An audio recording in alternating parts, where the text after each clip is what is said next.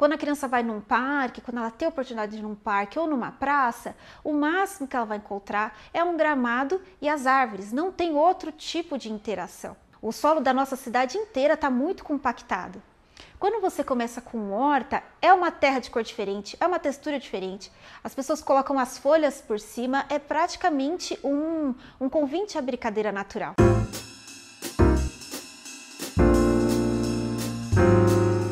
Horta surgiu é, de conversas com a comunidade, com as crianças, né? De uma maneira de, de, fazer uma interação entre elas. A gente tem um espaço grande aqui na escola, né?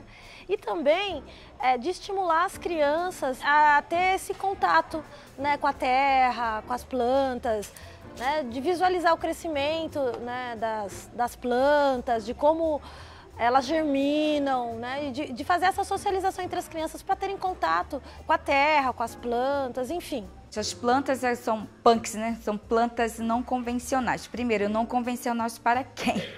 Para nós que estamos aqui na cidade. As punks elas não são consideradas plantas não convencionais para as comunidades indígenas, os ribeirinhos, as caiçara. É importante, né, tratar disso porque quando você fala dessas punks, você vai falar da história desses povos também. Você vai conhecer a cultura desses povos, povos indígenas, caiçara.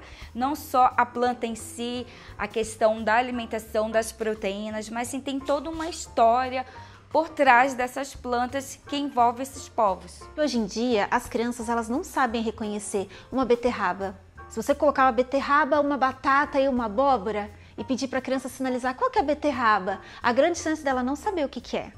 Né? Então, uma horta pedagógica é ótimo para a gente mostrar para as crianças os alimentos que não vem na embalagem de plástico ou que só vende lá na feira, é cultivado, né? Alguém plantou, alguém cuidou, alguém colheu e você pode comer. Aqui na horta eu aprendo uh, várias coisas sobre plantar uh, e os solos para a planta viver melhor e também para ela continuar bem, bem forte, assim.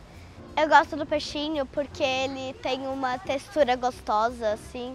E quando vê ele assim na terra, parece vários peixinhos assim saindo a horta ela virou parte da escola, né? Aqui a gente tem é, toda sexta-feira os grupos de responsabilidade. As crianças passam a cuidar dela, experimentam as coisas, sentem os cheiros. Então assim você tem lá o alecrim, o hortelã, algumas coisas que as crianças começam a, a ter essa parte mais sensitiva. Então é feito vários trabalhos com isso, até de apropriação da escola, de fazer parte da escola. A horta é da escola, a gente come coisas da horta, a gente vai lá plantar, a gente vê o crescimento dessas plantinhas. As crianças aqui da Amorim, elas já estão bastante assim é, muita vontade com as punks, porque a gente coloca taioba no feijão, na salada a gente conseguiu incrementar com capuchinha, os temperos, né? Então mitsuba, é, shiso, coisas que a gente consegue temperar também tá indo. Esse é um desafio muito grande para a gente aqui, que é manter as plantas e colher e levar para a alimentação escolar. Sempre nessa perspectiva de continuar com esse vínculo com a cozinha. A horta ela tem esses múltiplos sentidos, tem essas múltiplas funções, vamos dizer assim, né? Que é um espaço de aula, é um espaço de cultivo, de produção de alimento, é um espaço para brincar, para ter aula, para oficina enfim, é um espaço para múltiplas atividades. Teve uma época que eu estava no segundo ano que tinha alface que crescia e a gente pegava e lavava na horta e comia. Minha fruta favorita aqui é um pé, é um pé de feijão. E no começo a casca dele tinha começado a abrir, depois, depois que a casca tinha abrido, ele começou a crescer a raiz, a raiz aí depois ele abriu a casca já verde e nasceu as plantas. Se uma escola quiser começar uma horta pedagógica, eu acho que a principal, primeiro passo é começar mesmo.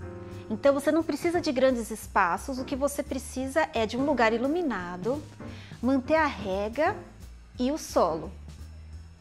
O segundo passo é escolher o que plantar quando plantar. A gente sabe que as pessoas, quando querem começar uma horta, elas gostariam de ter o que elas gostariam de comer.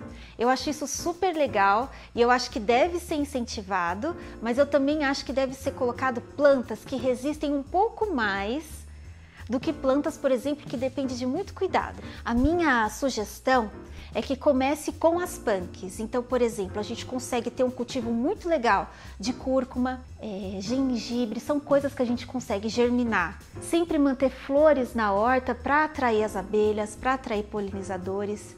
E isso demanda tempo, gente. Tempo, paciência, constância e perseverança. O alface daqui da horta é mais gostoso do que o do mercado porque é mais saudável, é mais saboroso também. Aqui na horta eu rego, eu planto, eu cuido dela. Eu já coloquei até uma terra nova para as plantinhas crescerem melhor. É muito gratificante ajudar a horta e as plantinhas.